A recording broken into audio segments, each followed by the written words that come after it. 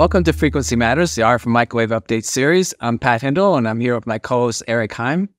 This episode, we're going to continue our coverage of the November 5G, 6G, and IoT issue.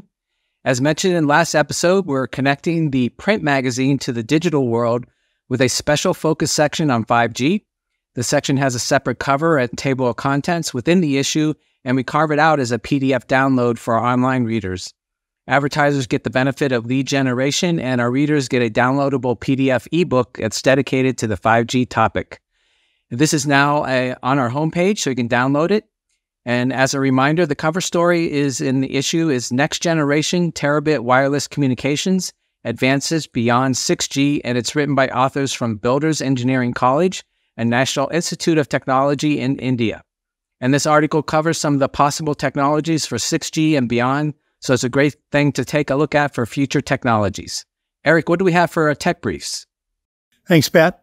Uh, we had an interesting feature from EtherTech in Taiwan. Uh, they developed an FR2 automated test chamber that they're offering as a one stop service package. And the package includes the shielding chamber with anechoic material and a turntable, test software, horn antennas, and up and down converters. Uh, so they're looking to increase the efficiency and precision of millimeter wave test solutions with this bundled service. And uh, way back in the day, Marki Microwave was known for their mixers, and they still do those, uh, but they've expanded their product offering substantially. And we've got a good tech brief from them announcing a 2 to 40 gigahertz LO driver amplifier that aims at multi channel applications. Uh, so take a look at that. They get some pretty good performance out of that. Yeah. And so we had one product feature and that was an E-band amplifier that supports 256 QAM with 6 watts of saturated output power from Filtronic. And so we had a special guest join us today, Kevin Moyer, product manager at Times Microwave Systems. He joined me to discuss RF cables and military ground vehicles. Let's take a look at a clip from that now. And so, what are some of the challenges for using RF cables in these military ground vehicles and applications? Well, I have to say it's uh, ruggedization, ruggedization, and ruggedization. You know, just uh, like that old real estate uh, saying. It's it's uh, in, in and there's there's lots of things to ruggedize for. I mean, concerns are for things like uh, crushing of the cable, kinking of the cable, extreme cold, extreme heat, UV resistance, abrasion resistance, uh, moisture ingress, survivability for like caustic, hot caustic washdowns in the case of these vehicles that they had to go through, say, a, a, biological event or something, they have to be washed down with some, you know, pretty harsh chemicals, and they have to survive that. Uh, corrosion resistance is a concern. Uh, exceeding the minimum bend radius of the cable is always a concern. Performance for flexure is, is a big one. You know, most in most cases, RF cables, you know, they're installed and they're static in place for the for the life of their application. You know, but in ground-based uh, military vehicles, that's just not the case. Sometimes, you know, things are being set up very quickly or ripped down very quickly. Uh, cable sometimes are being coiled, uncoiled. You know, a lot of things are, are, are moving around. Uh, so uh, that's that's really important. And I, and I, don't know if I mentioned, but connector retention. That's a big one. You know, a cable assembly, RF interconnect is only as good as its weakest link. And uh, yeah, that's a lot of times, you know, where that connector is attached to the cable is, is really really important. So you know, lots of different things to ruggedize. In some some applications, you're looking to you know prioritize you know some of those characteristics above others, but uh, ruggedization is, is by far the the, uh, the challenge in this in this market. It was very interesting talking to Kevin about RF cables and military ground vehicles. It's all about ruggedization. Turning to the news, Lockheed Martin is one step away from showcasing its 5G.mil capability that can reach all domains around the world.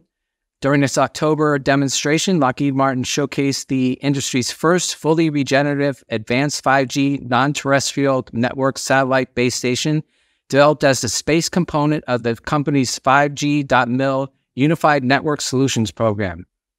In the live hardware in the loop lab environment, the advanced 5G NTN satellite base station performed high speed data transfers connecting with a prototype NTN user equipment and is compliant with 3GPP Release 17.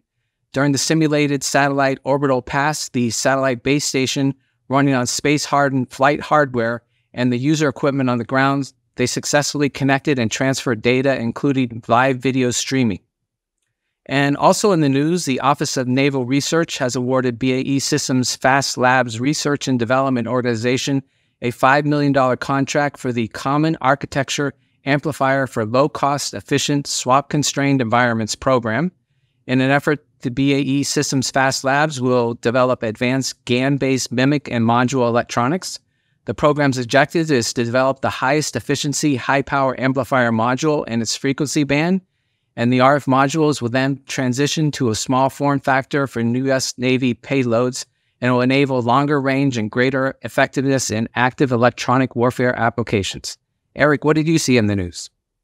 Well, Earl Ahmed EJL Wireless released his global macro cell radio unit active antenna unit market analysis and forecast report.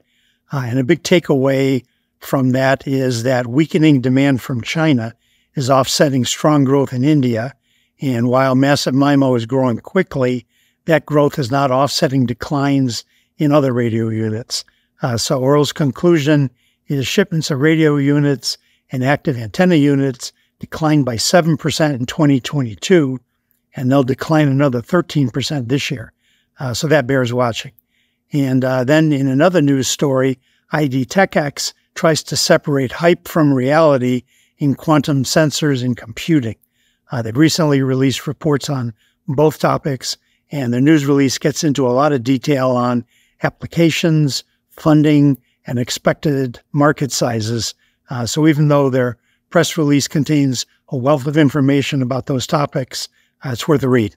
And uh, turning to events, I wanted to note that COMCAS has been rescheduled for July next year, as it was supposed to take place in Tel Aviv in November. So Hopefully, things will be resolved well before then. And my next event will be DesignCon in Santa Clara at the end of January. So this is the premier event for signal and power integrity. So be taking a look at that for our signal integrity journal. Uh, Eric, I think you're uh, heading to AOC next. So what do you have lined up so far? I am, and uh, yeah, I've started lining up sessions with regular contributors like ADI, Menlo Micro, and Wireless Telecom Group. Uh, I'll be interested in seeing what they're doing along with all the other exhibitors. And uh, reach out to me if you'd like to chat. Uh, I'm also interested in the tone of the conference.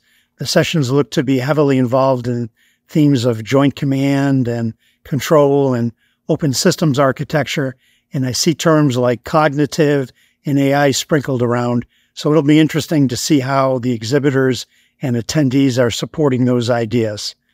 And uh, just a reminder, EDICon Online just finished, but you can watch it all on demand for the next six months. Go to edicononline.com and see what you missed. And that wraps up this episode. Our sponsors are RFMW and Times Microwave Systems. RFMW is a technical distributor of RF and microwave products and now power management products. When you start your next design, consider their multiple product lines. Times Microwave Systems, a member of the Amphenol North America Military Group, and a division of Amphenol Harsh Environment Solutions, is a pioneering brand of innovative RF and microwave interconnect assemblies, cables, and connector designs. And remember, as a member of the industry, a subscription to Microwave Journal is free, so please visit our site and subscribe today if you aren't already a reader. Thanks for watching us, and please join us next time for another Frequency Matters.